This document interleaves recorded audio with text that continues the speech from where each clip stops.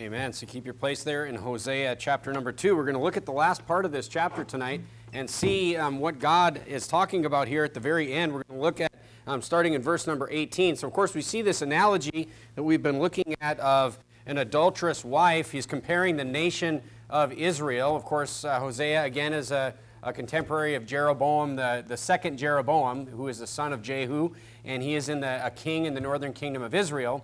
And but um, he's, being he's comparing, he's doing this analogy, this, this object lesson of an adulterous wife to an, uh, this adulterous nation that has turned away from God and went to serve other gods. But then there's a shift here at the end of the chapter in verse number, really it start, starts in verse number 17, where um, he says that this nation is going to get right, and then you know they're going to turn away the names of Baalim out of their mouth. They're going to get right, and then he's going to show mercy to them. And then we see, um, obviously, we see that this moves into some end times prophecy here in verse number 17 and through the end of the chapter. And I'll explain that to you here uh, in the next few minutes. But we're going to look at this tonight, and we're going to see what um, the Bible's talking about here and what God is talking about at the end of Hosea. Look at verse number 17, if you would. He says, I will take away the names of Baalim out of her mouth, and they shall no, no more be remembered by their name. The, so this nation's going to forget the, the names of the false gods. Verse number 18. And in that day will I make a covenant for them with the beasts of the field and with the fowls of heaven and with the creeping things of the ground, and I will break the bow, the bow and the sword and the battle out of the earth, and I will make them to lie down safely. So here we see um, a little bit of a shift here that there's going to be this covenant that even involves the beasts of the field. And uh, before we even talk about the covenant with the beasts of the field, uh, remember, actually, just go ahead and turn to Leviticus chapter number 26, if you would. Leviticus chapter number 26. Remember that the beasts of the field and beasts overrunning um, your nation is a, actually a curse, all right? It's a curse upon a nation. And I'll show that to you in Leviticus chapter number 26. We're going to do a lot of real deep Bible study here, so um, I'm trying to make it as simple as I possibly can, but I'm trying to show you that the verbiage of the beasts of the field and that there's going to be a covenant and peace with the beasts of the field is the opposite of a cursed nation. All right, look at Leviticus chapter number uh, 26 and look at verse number 21. Look at verse 21. So this is a warning to the people of Israel, to God's people. And if you walk contrary to me, unto me, and will not hearken unto me, I will bring seven times more plagues upon you according to your sins. All right, so God's saying, if you don't listen to, to the words of, of the Lord, if the nation, all right, nations are judged by whether they listen to God or not. All right, we're not we're not saved by our works individually, and this is a super look. This is a super important point, and this is why a lot of Christians get confused today. Individuals are saved, nations are judged by their works. Okay, so in Leviticus chapter 26, we're seeing that God is literally saying, you know, all over the Bible, all over the Old Testament, it is like you'll be able to stay in the land if you follow me if you listen to me. But in Leviticus chapter 26, he's saying, if you walk contrary unto me, meaning you don't listen to my word, you're going to be cursed. And what's one of the ways you're going to be cursed? I'll send wild beasts among you, which shall rob you of your children, destroy your cattle, and make you few in number, and your high and your highways shall be desolate, meaning like where you move, like where you travel, all these things. People are just going to be attacked. Look, that's a curse. Okay? That is a curse. And it makes perfect sense if you look at Hosea chapter 2, verse number 17 into verse number 18, when he talks about how this nation is going to get right, and then he's all of a sudden going to start blessing them, they're going to throw the names of Baalim out of their mouth, that he says there's going to be a covenant between the beasts of the field. There's going to be complete peace between the beasts of the field. Turn to Isaiah chapter number 11. So we see there's a, there's a, a big contrast here that we're seeing, okay? We're seeing a nation that walks contrary to God is cursed even by the animals. Like they're just torn up by, you know, wild dogs and lions and all bears and all these things, just tearing uh, the, this uh, country apart that walks contrary to God. It's a way God, you know, judges a nation. But then look at verse uh, number 4 of Isaiah chapter number 11. For a contrary view of this, all right? Now, look at verse number 4 of the Isaiah chapter 11. It says, But with the righteous shall he judge the poor and reprove with equity for the meek of the earth. And he shall smite the earth with the rod of his mouth, and with the breath of his lips shall he slay the wicked. We're obviously talking about Jesus here. And righteousness shall be the girdle of his loins, and faithfulness the girdle of his reins. The wolf, now look at this in verse number 6. The wolf also shall dwell with the lamb, the leopard shall lie down with the kid, and the calf and the young lion and the fatling together, and the little child shall lead them. And the cow and the bear shall feed, their young ones shall lie down together, the lion shall eat straw like an ox, and a suckling child shall play in the hole of an asp. Talking about a child just playing near a snake's den. I mean, something that would just make you cringe. And the weaned child shall put his hand on the cockatrice's den. So you have all these wild animals, all of a sudden they're peaceful, almost like they've made a covenant. There's been a covenant made with them with the people on the earth. Of course, we're talking about the millennial reign of Christ here. All right, we're talking about the millennial reign of Christ. So the, the millennial, I mean, just to, all that to say this, a nation that doesn't follow God is cursed in many ways, including beasts overrunning them. And the opposite of a nation being cursed is going to be when Jesus Christ is king, he rules and reigns, and there's going to be complete peace, even amongst the creation and the animals all right? And of course you know we see he's going to rule with the rod of his mouth. In revelation 2.27 talks about how he'll rule them with a rod of iron. And so there's a lot of similarities there. We can clearly see that this is talking about the millennial reign of christ. So all that to say this go back to hosea chapter number 2 so hosea chapter number 2 is talking about the end times. This is an end times prophecy here, okay? And remember, many prophecies have shadow fulfillments, but this is really talking about mainly the end times event and the millennial reign of Christ. All right, go back to Hosea chapter number 2 and look at verse number 19. Verse number 19 of Hosea 2, the Bible says, And I will betroth thee unto me forever. Yea, and I will betroth thee unto me in righteousness and in judgment. See the, the similar language here righteousness, judgment. This is what Jesus is bringing. He is the judge. Remember, I preached a whole sermon on that. And in loving kindness and in mercies. And I will even betroth thee unto me in faithfulness. If you write in your Bible, underline that. Because this is super key here that he's talking about this nation of the end times is going to be betrothed to him. What are we talking about in Hosea? We're talking about an adulterous wife. We're talking about an adulterous nation. We see an analogy of a wife and the nation. And here we see that Jesus says he's going to be betrothed. God is saying he's going to betroth this nation in the end times unto me in what though? In faithfulness. Faithfulness. And thou shalt know the Lord. So this nation is going to know the Lord. Who's the Lord? Jesus Christ.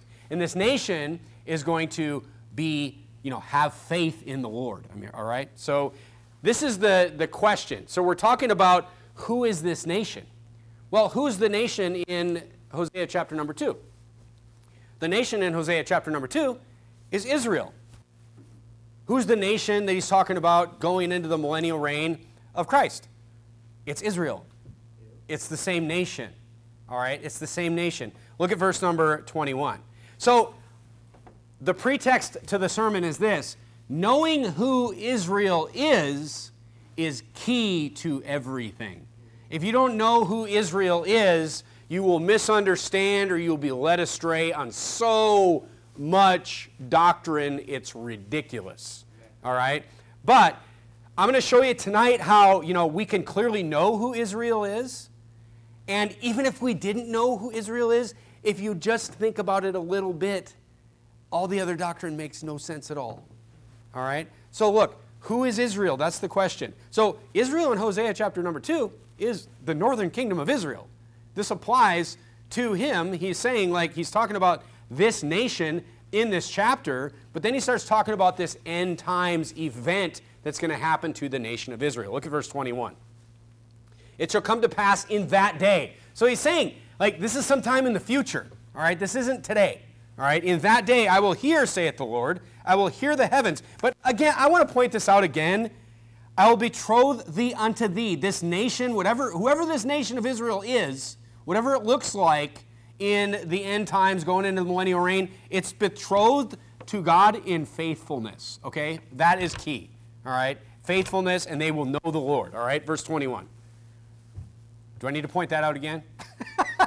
but I mean, it's, it's super clear, all right? It is super clear. They are betrothed in faithfulness. All right, verse 21 It'll come to pass in that day, I will hear, saith the Lord, I will hear the heavens, and they shall hear the earth, and the earth shall hear the corn and the wine and the oil, and they shall hear. So this is all the stuff. Remember, the corn, the wine, the oil, this is all the stuff that the nation of Israel, the northern kingdom of Israel, they, the, this is the adulterous woman. She left, she left her husband, who was God, who already gave her all that. Corn, oil, wine, gold, and silver. Everything was provided to her, and she left for, you know, the, the, the Baal, all the false gods that she couldn't even find because they're not real. You know, she couldn't, she tried to chase them. They didn't even, they weren't even there. Um, and she already had everything. All right. So this is what God is saying. I'm going to provide all these things again, and they shall hear Jezreel. Jezreel means, like, I always just think like God. When I see eh, Jezreel there, but I guess it really truly means like God sows, which makes sense if you go into the next verse where it says, And I will sow her unto me in the earth, and I will have, but this is the key right here, I will have mercy upon her that have not obtained mercy. And I will say to them which were not my people, Thou art my people, and they shall say, Thou art my God. So we see that this new nation that's going to get this covenant that's going to be called Israel is going to contain people that had previously not been part of the nation, that had previously not called God his people. But they're going to say, Thou art my God. All right? So clearly, if you turn to Romans chapter number 9, clearly this applies to the Gentiles when Jesus first came and what Paul is talking about in Romans chapter 9 and Romans chapter number 11. So let's look at that real quickly. So, thou art my people, and they shall say, Thou art my God. But look, it applies to the Gentiles, but I want to show you at the end of the sermon tonight how, like, it's more of just a, a methodology of thinking about this, all right, that makes things clear. It applies to anyone who did not previously, you know, was not previously, previously betrothed to God in faithfulness and then is now faithful. It applies to anyone that does that. All right, look at Romans chapter 9.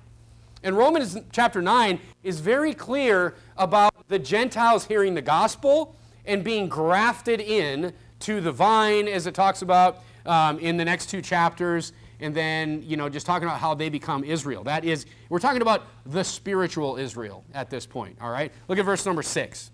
Romans chapter 9, verse number 6. Not as though the word of God had taken none effect, for they are not all Israel which are of Israel. So Paul is now making, making the transition from what these people that he's talking to are thinking about, you know, is Israel, and he's saying, no, no, no, it, it's, it's different. You need to start shifting your thinking. He's, he's trying to explain the spiritual Israel to them, all right? He's saying, Israel, just this, this physical nation, he's like, they're not all of Israel because Israel is not a physical nation. It is this spiritual state, okay? Neither because they are the seed of Abraham are they all children, but in Isaac shall thy seed be called. I love that verse because really, I mean, if you think about it, that is, read the next verse. That is, they which are the children of the flesh, these are not the children of God, but the children of the promise are counted for the seed. So he's saying the flesh, the genealogy, has nothing to do with it. And if you think about it, you think about how stupid the genealogy idea is, it didn't even last one generation. Because what did the Pharisees always say? We're children of Abraham. We're children of Abraham. Guess what? So was Ishmael.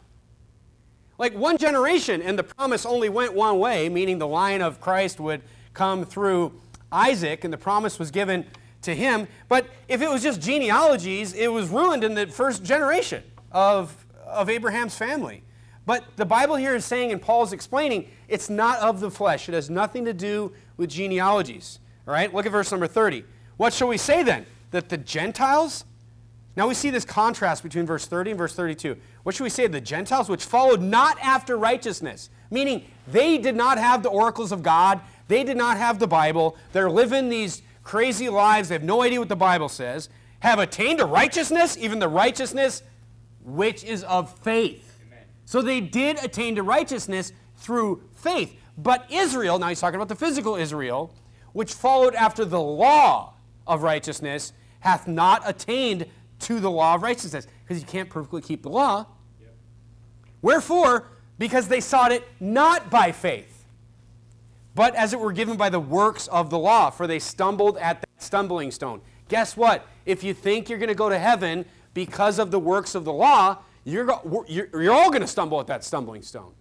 Every religion that teaches works, which is every religion outside of biblical Christianity, is stumbling at the stumbling stone of works based salvation. You're going to trip over that thing. It's so big you'll never get over it because you've already broken the law. Every single person, for all have sinned and come short of the glory of God. So the Gentiles, which they didn't, they followed not after the law. They're a bunch of lunatics and, and heathens and all this stuff. But then they had faith on Christ. The individuals that had faith on Christ, they got saved through faith. And it was the Jew who had turned this religion of, instead of waiting for Jesus to come, had turned it into this, you know, twisted, works based salvation religion that Jesus walked into in the nation of Israel at his time. And they were tripping over this huge stumbling stone that stumbling stone, they're going to trip right into hell over that thing. Because nobody is going to be saved through their works, plain and simple. All right, now turn to Romans chapter number 11. So these are those that were not previously my people, that now are my people, that are betrothed through faithfulness. Do you see how it perfectly matches? It just matches perfectly. I mean, did Paul know Hosea or something? What's going on here? Right? No, look, this is the Word of God. That it matches perfectly. All right, look at Romans chapter 11, verse 25. It says, For I would not, brethren, that you should be ignorant of this mystery, lest you should be wise in your own conceits, that blindness in part has happened to Israel. What does that mean? That means that, that most of the, the majority of the mainstream, you know, mainstream Jewish leaders and the mainstream Jewish religion did not accept Jesus Christ. They were blind to it, they did not see it. Blindness in part has happened to Israel until the fullness of the Gentiles be come in. We'll talk about that in just a few minutes. And so all Israel, so now we see a shift here. All right, we see a shift from the current nation of Israel, just like Hosea 2, to this future spiritual, you know, now spiritual Israel. So all Israel shall be saved. As it is written, there shall come out of Sion the deliverer who shall turn away ungodliness from Jacob. For this is my covenant unto them when I shall take away their sins. Now, people will say, see, all Israel is going to be saved. Yes, but he's just spent two chapters defining what Israel is. Israel is those who have been betrothed unto Jesus Christ through their faith. All right? And have not stumbled at the stumbling stone of the law, of works based salvation. Because look, you cannot be saved if you believe that your works have something to do with your salvation. It is the stumbling stone. What if I believe on Christ and I believe I have to do good works? It's a stumbling stone. You cannot, you will trip over it. It can, it's zero works, all Jesus. All right? So look, he just told us and explained to us what Israel is anyone who is saved, anyone who has believed on the Lord Jesus Christ. So the key of this verse that all Israel shall be saved is that it's a spiritual Israel those that have believed on the Lord Jesus Christ, and of course, they will be saved. They are saved. All right? Now, look, it doesn't even make sense to think about this another way. All right? And I want to continue with this in just a few minutes, but look, even if you didn't know who Israel was, even if you didn't know this definition of the spiritual Israel from Hosea chapter number 2 and verse number, uh, what was it? It was verse uh, Hosea chapter number 2, verse number, uh, yes, verse number 20, that he'll betroth them to me in faithfulness. Thank you. Even if you didn't know who Israel actually was, this idea that all of the nation of Israel, whether that be today or during Jesus' time or during Hosea's time, that all Israel would be saved at any time, a physical nation, makes no sense. It makes no sense. Nations don't get saved. I mean, where is that in the Bible that nations get saved? As long as, you know, President, you know, Biden stands up there and prays Romans 10:9, we're all going to be saved. I mean, what in the world? Not like I mean the the Bible would burst into flames if he started reading it. But anyway, um, nations don't get saved, individuals get saved. Individuals get saved. Not if one single physical nation will ever exist anywhere where every single person in that nation gets saved, ever. It, salvation is not a collective thing. Only individuals get saved. And this, so that's the first thing. Nations don't get saved, so it makes no sense. It, even if you think that it means a physical Israel, you have to like say, I must be misunderstanding this and go looking for another solution. All right? And the second thing is this turn to 1 Timothy chapter number 1. I'm just exploring why, even if you didn't understand who Israel was, why what everybody else is teaching, all the pre tribbers, all the Zionists, all this stuff, it, it doesn't make any sense. Like, you can't make sense of it. The first reason is nations don't get saved. But I guess if you think salvation was through works, I guess you could think that salvation was collective to a degree. I mean, what else? I mean, if the gospel, you got the gospel wrong, you know, a lot of things can go wrong. But the second reason it doesn't make any sense, even if you don't understand who Israel is, look at 1 Timothy chapter 1 and verse number 4. It says, Neither give heed to fables and endless genealogies, which minister questions, rather than godly edifying, which is in faith. So do. And in Titus chapter 3, verse number 9, it says, Avoid foolish questions and genealogies and contentions and strivings about the law, for they're unprofitable and vain. So it's saying just giving heed to genealogies, it just, it, there's no solutions there. It's only questions. Think about it. Think about it. If all Israel would be saved, and if I am part of the nation, like the physical nation of Israel, whether that be today or in Jesus' time or whatever, like, look, I'm going to tell you something. Genealogy never mattered. Genealogy, genealogy in the Bible only mattered for one reason, and I'm going to explain that in just a second. But what if, let's talk about this, all Israel should be saved, and my genealogy matters. What if my great great grandpa wasn't 100% Jewish and he married like a Russian gal? I mean, who's doing the math on this? Who's doing the math on how, how Jewish I need to be? On how pure my genealogy needs to be? I mean, the whole, I mean, what if my, you know, what if my second cousin or, you know, I mean, I mean, just all this different, who's gonna, who's proof, what if my family tree was wrong and somebody made a mistake? The whole exercise is ridiculous. It's ridiculous. The Bible literally says in Acts 17 that he hath made of, you know, of one blood all nations. Like it literally has, it has nothing to do with the genes, who you're related to, who, you know, he made of one blood all nations for men to dwell on the face of the earth. Genealogies didn't matter for salvation, even in Old Testament Israel. They didn't matter. Because people could come into the land, a stranger could sojourn in the land, and if they came in and they accepted the Lord, and they, you know, they, it says if they accepted the Passover, meaning they accepted the Lord through faith, they were to be treated like everybody else. Ruth was a Moabitess. She wasn't a, she wasn't a Jew.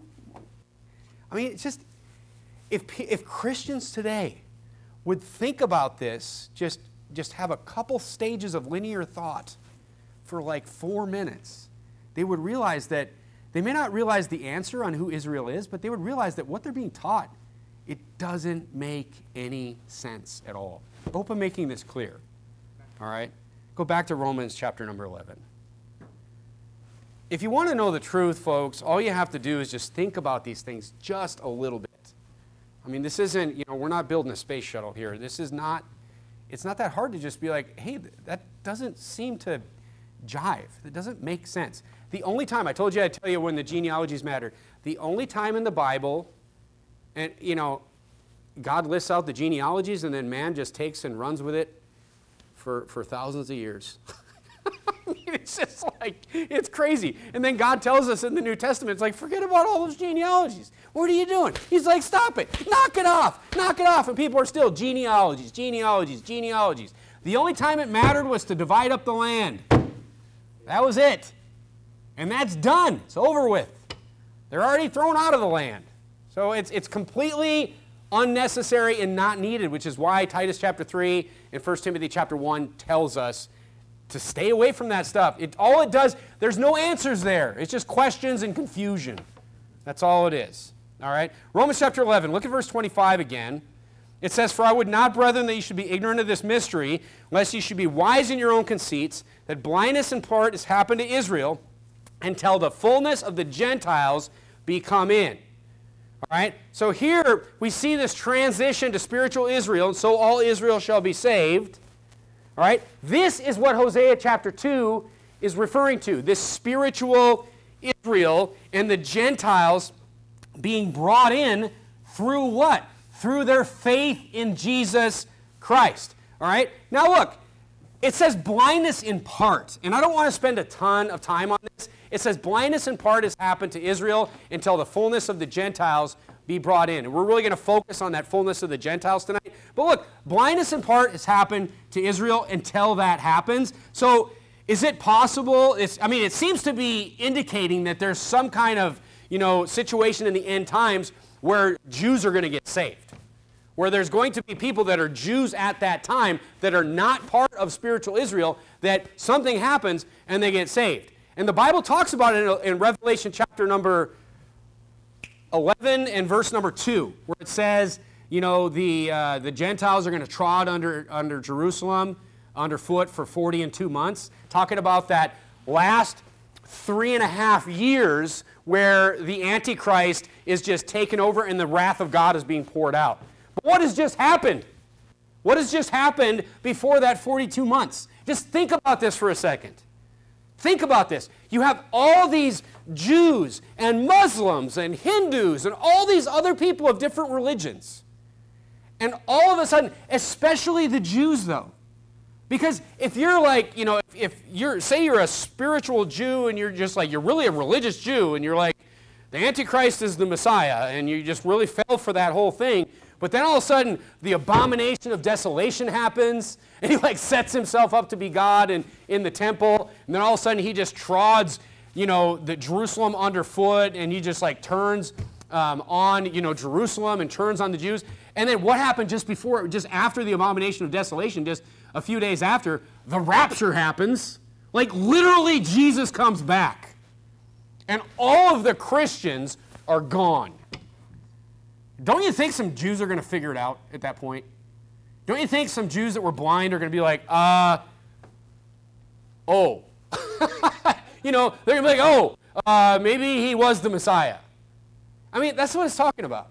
That's what it's talking about. It's talking about the end times, especially the rapture, especially when the Antichrist trods Jerusalem underfoot, as it says, Revelation chapter number 2. We don't know exactly what that means, but that's when the two witnesses come back and they're in, you know, the holy city. And, but look, I mean, it doesn't take too much stretch of the imagination to realize that a lot of people from a lot of false religions are going to get saved at that point, especially the Jews. Since they were confused about, you know, they didn't believe Jesus was the Messiah. It's basically proved to them through the rapture, proved to them, look, it's proved to them through the Bible, but it's proved to them through the rapture, proved to them through, you know, the Antichrist turning into something that they didn't, you know, that apparently, you know, they, they realized he wasn't. Eh, you know, people are going to get saved. So that's what that's talking about, all right? But the real key to this verse is, is, is this. Until the fullness of the Gentiles comes in. What does that mean? What does that mean? Now, look, I want to show you what this means. Turn to Genesis chapter number 15 it's talking about, you know, when the end times will start, when God is going to start shutting this thing down, basically. All right? It says, until the fullness of the Gentiles be come in.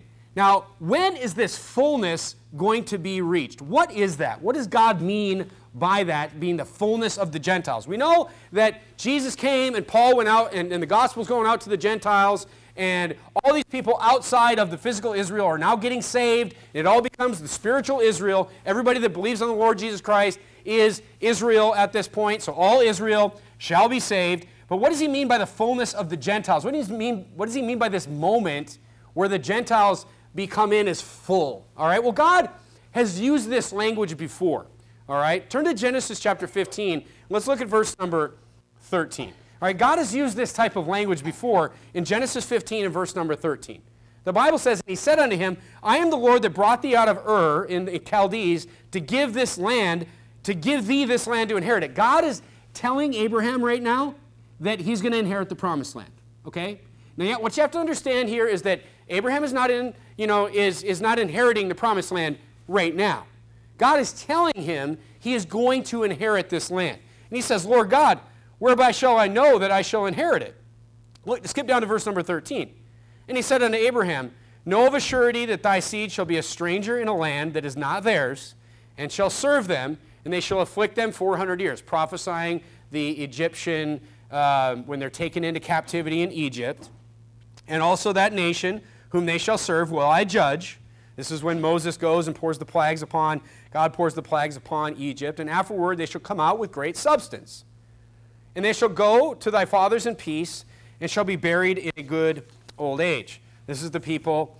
Um, this is the people that did not go to the promised land. They came out of Egypt. It pro- literally prophesies, prophesies that the people that came out of Egypt would die in the wilderness right here. All right? But look at verse number 16. But in the fourth generation they shall come hither again, for the iniquity of the Amorites is not yet full. So he's saying the fourth generation out of Egypt is going to end up coming into the promised land. So, I mean, you know, talk about a gift, right? How about how would you like me to come up to you and say, well, you know, brother Alex, I'm going to I'm to give you my car. All right, I'm going to give you my car. Um, I really just want to bless you with my car. I mean, that's not really a blessing. I get it, but I mean, I really want to give you a blessing of maybe someone else's car that's nicer, all right? But you can get this car in 500 years, all right? That's that, you're going to be like, what?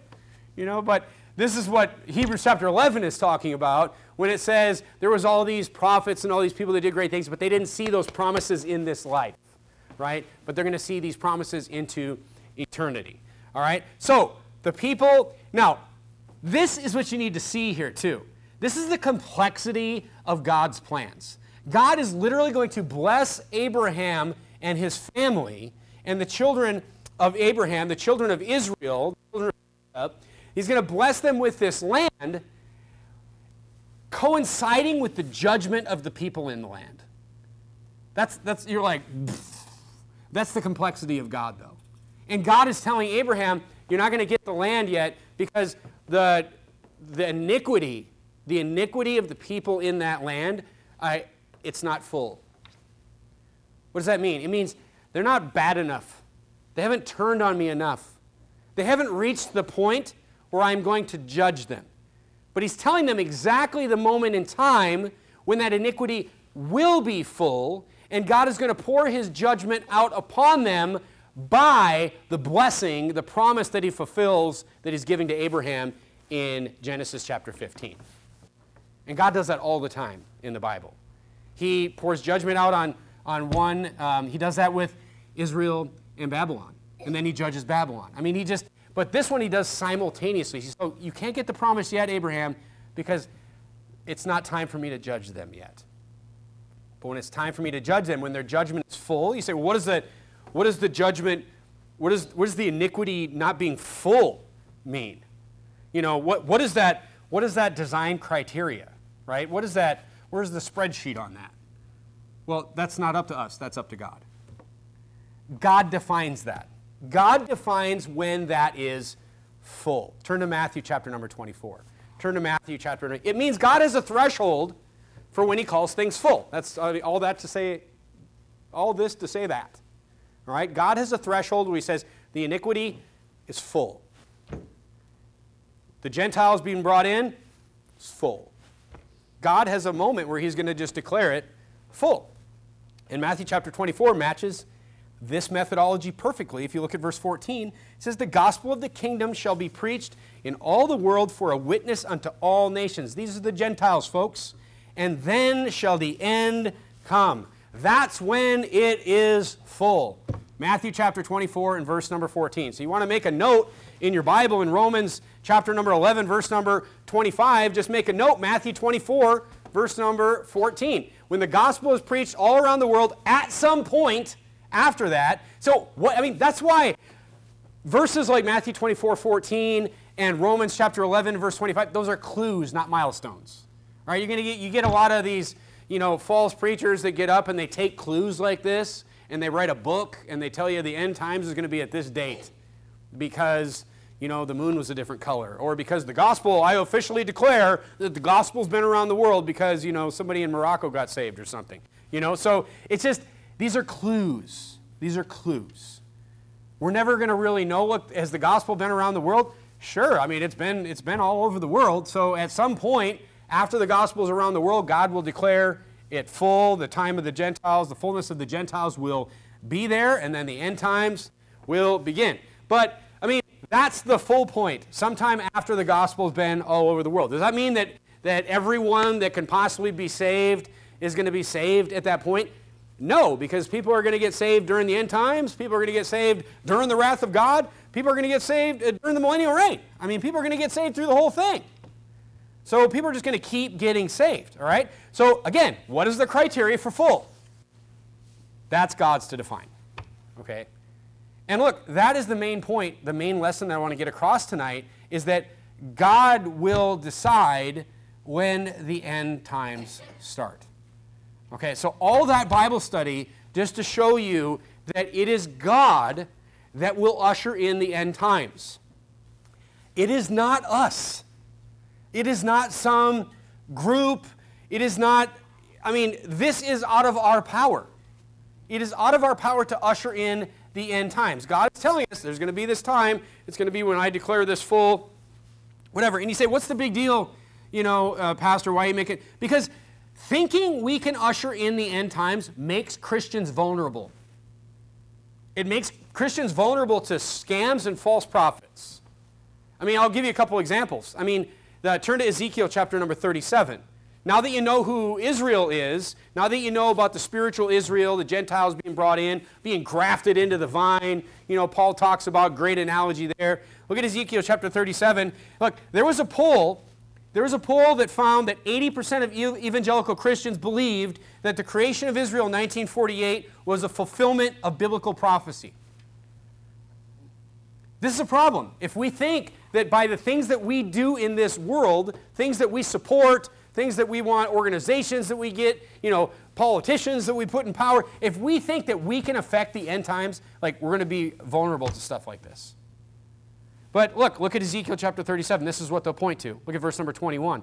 And say unto them, Thus saith the Lord God, Behold, I will take the children of Israel from among the heathen, whither they be gone, and will gather them on every side, and bring them into their own land. And I will make them one nation in a land upon the mountains of Israel, and one king shall be king to them all. And they shall be no more two nations, they shall be divided, they sh neither shall they be divided unto two kingdoms, anymore at all. So Ezekiel, of course, you know, I always like to think about who, who's speaking and what perspective they're speaking from. Where are they at in history? Ezekiel was, uh, instead of Hosea over in the northern kingdom of Israel, Ezekiel's a couple hundred years later. He's a contemporary of Jeremiah. All right, so he's a, a contemporary of Daniel, Jeremiah, during the captivity into Babylon of Judah. All right, and he's saying there's going to be a time when I'm going to take the children of Israel from among the heathen and where they be gone, I'll gather them on every side, bring them into their own land. So, number one, he's talking about a physical, um, actual prophecy of them coming back from captivity, number one. All right, so there's a, there's a prophecy that's fulfilled after 70 years of captivity, but then everyone's like, oh, but they're bringing them into their own land, 1948. But keep reading though. And I'll make them one nation in the land upon the mountains, and there shall be one king to be king to them all. Neither shall they defile themselves any more with idols, nor with detestable things, nor with any of their transgressions, but I will save them out of their dwelling places, wherein they have sinned, and will cleanse them. So, and does this sound familiar? So they shall be my people, and I will be their God. Does Israel accept the Lord Jesus Christ today? No, it's not Israel. That's, that's what the Bible is explaining. And David, my servant, and now we get specific on who the king is. And David, my servant, shall be king over them. Is, it, first of all, is there a king? No. David, my servant, he's not talking about actual David. He's talking about the line of David. He's talking about Jesus. Is Jesus king of Israel right now? I mean, it's ridiculous. If you think about it for more than three seconds, the whole thing is ridiculous. They're like, oh, but bring them into their own land. You read like half of one sentence, and every Christian in America is like, yeah. But just read again, Bible reading lesson. Read two verses before and two verses after. Sit down, think about it with you and the Holy Spirit. And, you know, again, it's, we're not building a space shuttle here. This is not complicated. All right? It's talking about the millennial reign of Christ. And it's talking about, it's a future prophecy. It's, it's talking about the end of the captivity and the millennial reign. When is Jesus going to be king over Israel as we know spiritual Israel? The millennial reign. He's going to rule over Israel. And they shall have one shepherd. They shall walk in my judgments and observe my statutes and do them. And look, you couldn't say that about America, and you, could, you definitely couldn't say that about Israel. They're, they're walking in the statutes. They're like the, I, I think uh, Tel Aviv is like the LGBT capital of the world yep. at this point. I, I mean, it makes no sense at all. It's talking about the millennial reign of Christ. So, look, it's important to understand who Israel really is. Number one. And number two, it's important to understand that God is going to usher in the end times, not us. Not us supporting some political movement. Look, Zionism, the Zionist movement, look, Zionism isn't a bad word. Zionism was the political movement that started in like the late 19th century to get the Jews back, the, the Jews at that time, back to Jerusalem, the promised land. It was this huge political movement. Like it was huge in America, it was huge in Europe. I mean, it was this growing political, it was a political movement. I, I mean, all kinds of famous people were involved. Einstein was involved. He was uh, involved in pushing the Zionist cause. He, he himself admitted it. You guys wonder why I'm so hard on that guy. But the point is this Christians helped. Christians help because they're like, oh, why? It's because it, it's this weird, it's this weird desire of Christians to usher in the end times. It's weird. We're not going to usher in the end times, folks. Like if this sermon, if you take anything from this sermon, it is that God declares full. God says when. All he tells us to do is watch. Just keep working and watch. Wait, I mean, and first of all, like, Here's another point. Should Christians want the end times to come? Here, uh, is, is, think about this for a second. Should Christians want the end? turn to Revelation chapter 6. Here's the only Christian that I would even give a pass to on wanting the end times to come. Turn to Revelation chapter number 6. Turn to Revelation chapter number 6. And I want to make sure I, I, I don't like blanket statements, so I want to cover this one, this one uh, time where we see Christians wanting God to make the next step in those end times. Look at verse number 10 of Revelation chapter number 6. This is right before the rapture. It says, And they cried with a loud voice, saying, How long, O Lord, holy and true, dost thou now judge and avenge our blood on them that dwell on the earth? These are people that have literally just been killed in the tribulation, the great tribulation, and they're up in heaven. They're just like, Come on, God, drop the hammer.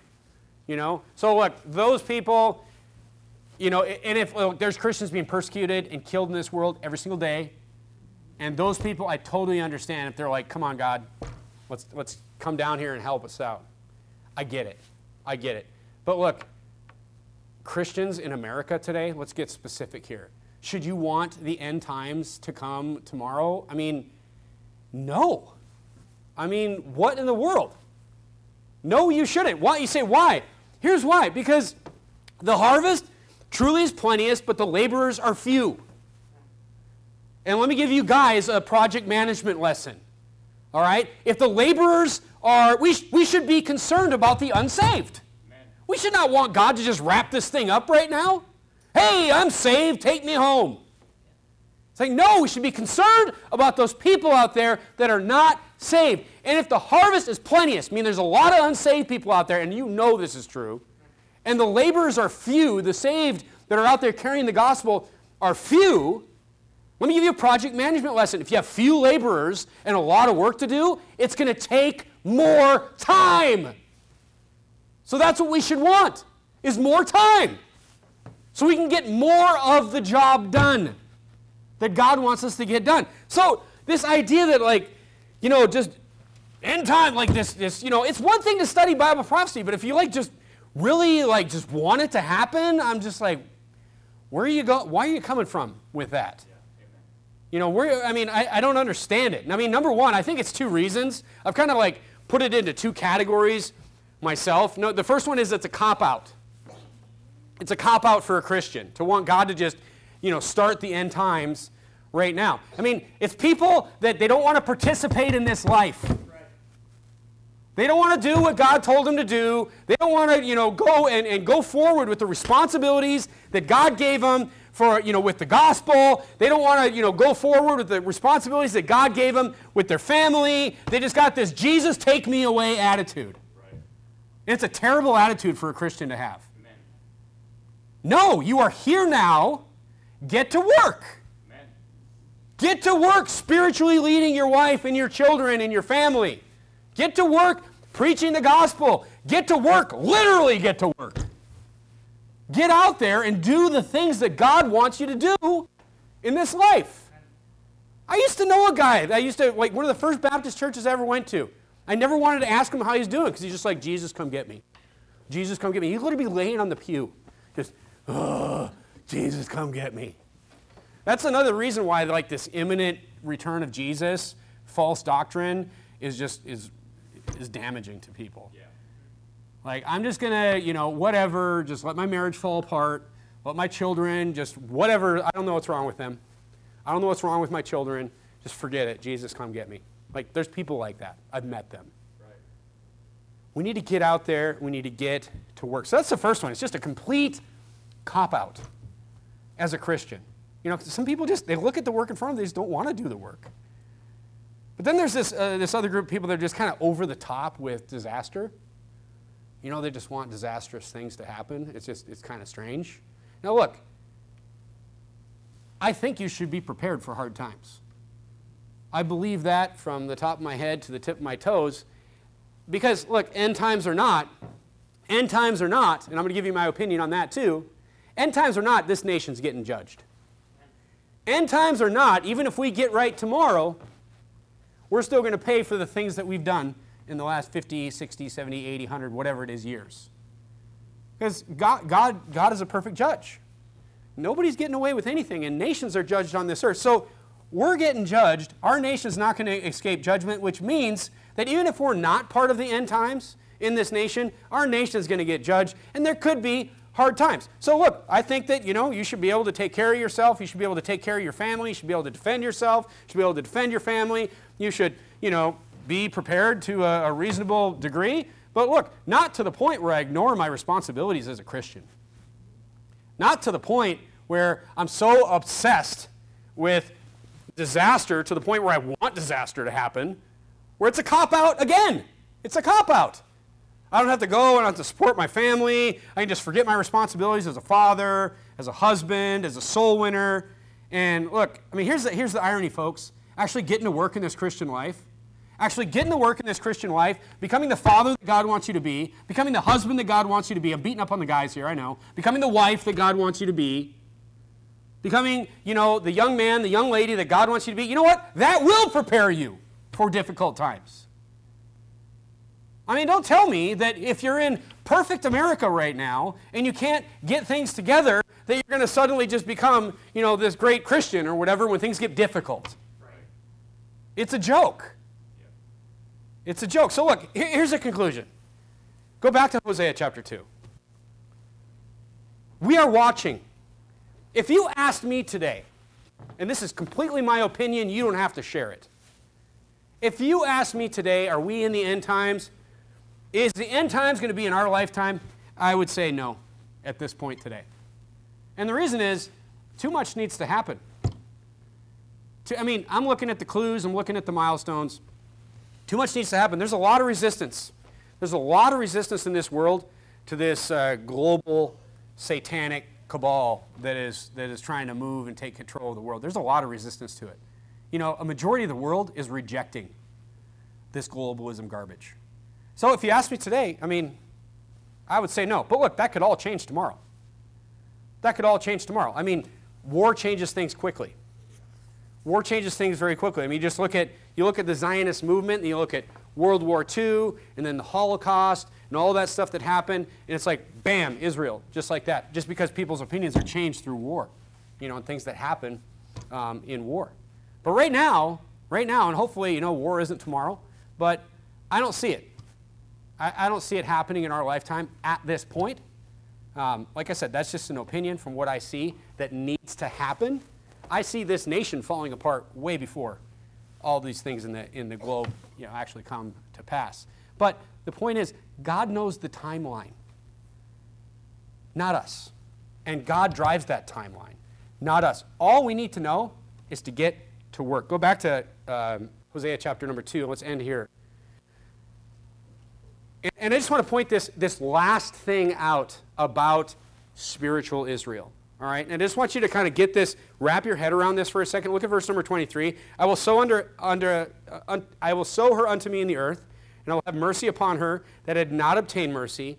And I will say unto them, which were not my people, Thou art my people. And they shall say, Thou art my God. Look, really, that applies to anybody Jew, Muslim, anybody, anybody that, that is not a believer in Jesus Christ that becomes a believer in Jesus Christ. And that happened in, uh, in mass with the Gentiles during Jesus' time and ever since Jesus' time. The, the gospel is spreading what? Across the world, Matthew 24, 14.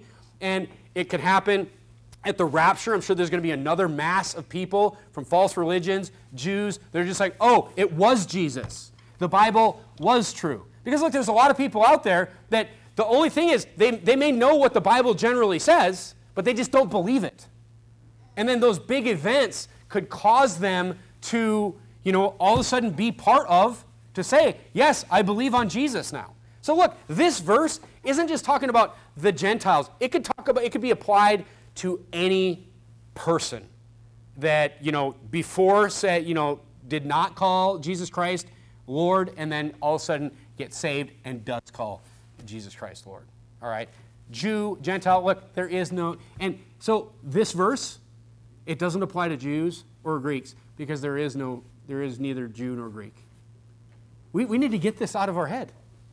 We need to get this Jew or Greek or Gentile, uh, we need to get that out of our head. There's believers and the unsaved. That's it.